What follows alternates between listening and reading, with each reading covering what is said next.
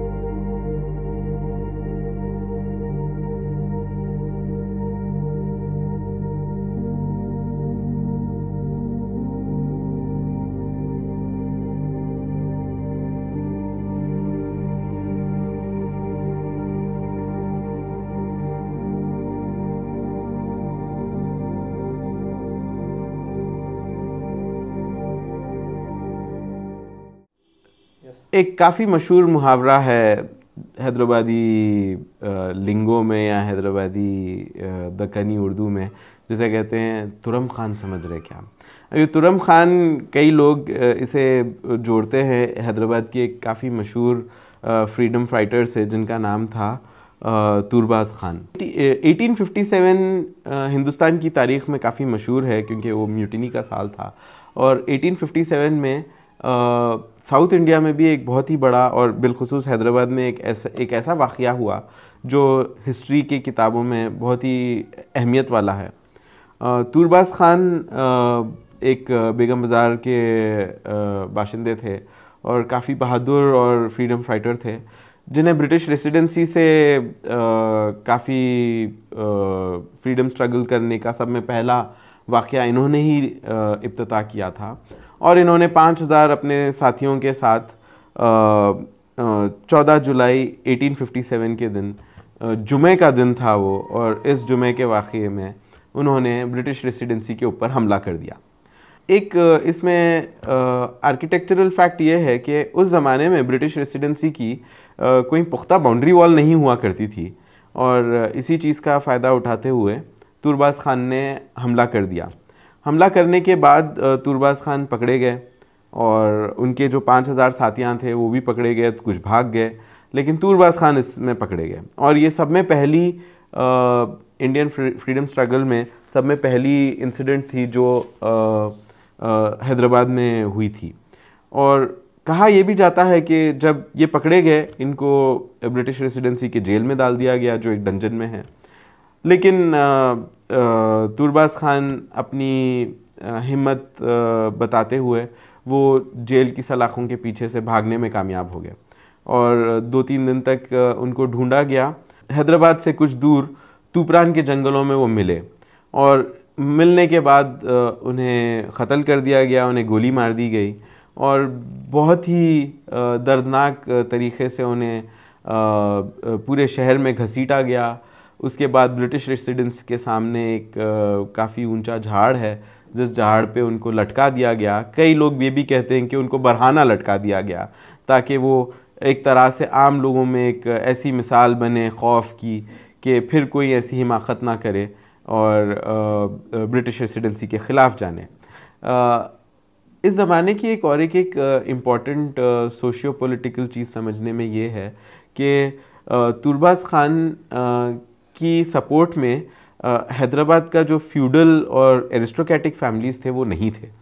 और काफ़ी सारे रॉयल फैमिलीज़ तुरबाज ख़ान को सपोर्ट नहीं किए। इसलिए क्योंकि ज़ाहिर सी बात है ब्रिटिश ब्रिटिश राज जो था, वो एक तरह से फ्यूडल फ्यूडल गवर्नमेंट्स को सपोर्ट करता था या फ्यूडलिज्म को सपोर्ट करता था।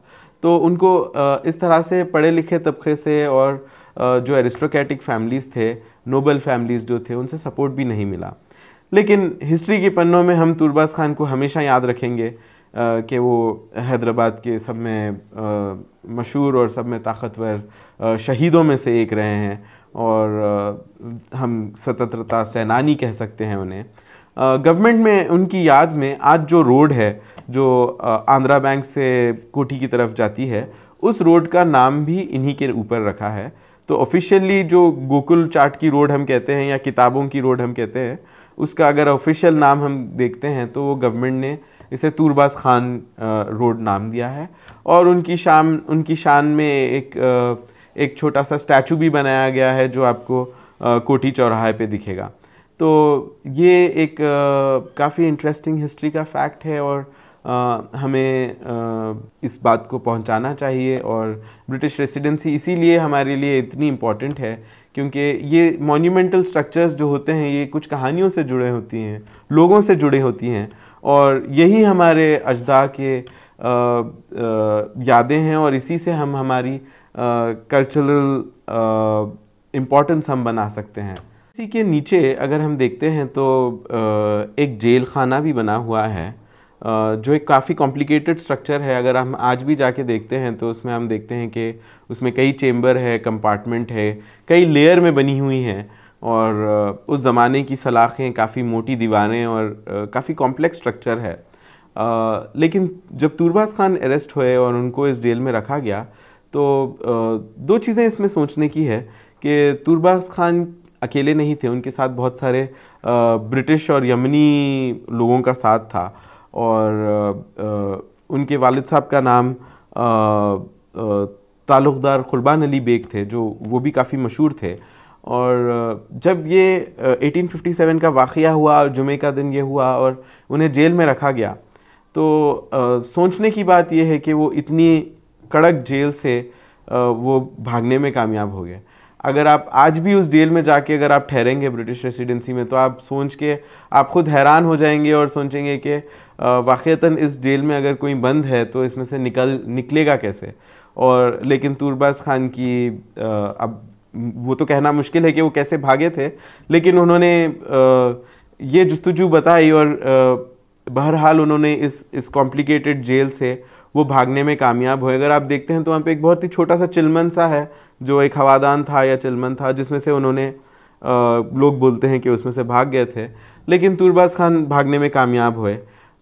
लेकिन आ, दो दिन बाद वो वापस गिरफ़्तार हो गए और उन्हें गोली मार दी गई तूपरान के जंगलों में।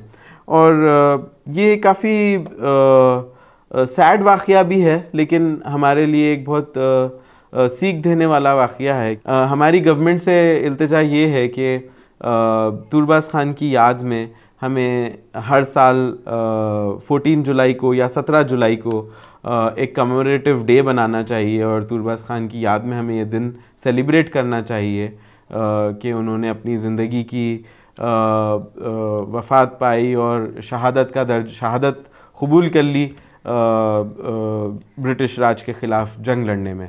और जब हम टैंगमेंट पे इतने सारे फ्रीडम फाइटर्स के और सन्स ऑफ़ द सॉइल्स के स्टैचूज़ देखते हैं तो एक तूरबाज खान का स्टैचू भी हमें आ, मुझे लगता है ज़ाती तौर पे कि तूरबाज खान का भी एक स्टैचू बनाना चाहिए क्योंकि ये हमारे आने वाली नस्लों के लिए एक काफ़ी इम्पोर्टेंट स्टैचू रहेगा पढ़ने के लिए कि ऐसा भी हैदराबाद का एक सन ऑफ़ द सॉइल था, जिन्होंने ब्रिटिशों, ब्रिटिशर्स के ख़िलाफ़ 1857 में जब किसी का सपोर्ट नहीं था, अपनी अपनी आवाज़ उठाई और अपनी जान लगाकर शहादत का दर्जा पा लिया तो ये कहानी है तूरबाज खान की Hmm.